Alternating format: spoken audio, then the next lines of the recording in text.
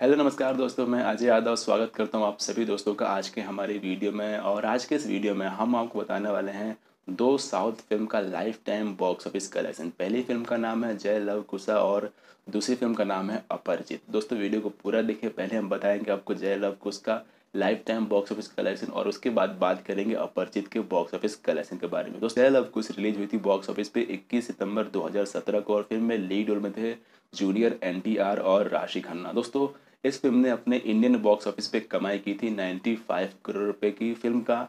World wide box office collection था 130 करोड़ रुपए। अब बात करते हैं फ़िल्म के बजट के बारे में तो फ़िल्म का बजट था पचहत्तर करोड़ रुपए और ये फ़िल्म बॉक्स ऑफ़िस पे हिट साबित हुई थी। अब बात करते हैं अपरिचित के worldwide lifetime box office collection के बारे में। तो दोस्तों फ़िल्म रिलीज़ हुई थी बॉक्स ऑफ़िस पे 17 जून 2005 को। और फ़िल्म में लीड रोल में थे छैया विक्रम और प्रकाश राज जैसे बेहतरीन कलाकार। फ़िल्म को डायरेक्ट किया था शंकर ने और काफ़ी अच्छी फ़िल्म थी। आपने फ़िल्म ज़रूर देखी होगी। तो बात करते हैं फ़िल्म के बॉक्स ऑफ़िस कलेक्शन के बारे में। तो फ़िल्म ने इंडियन बॉक्स ऑफ़िस में कमाई की थी फिफ्टी नाइन करोड़ रुपये की। फ़िल्म का worldwide box office collection था सिक्सटी फाइव करोड़ रुपए। दोस्तों, बात करते हैं फ़िल्म के बजट के बारे में। तो फ़िल्म का बजट था पच्चीस करोड़ रुपए।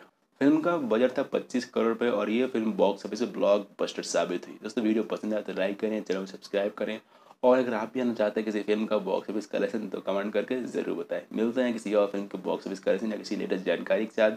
जब तक के लिए बने रहिए, देखते रहिए एंटरटेनमेंट फॉर यू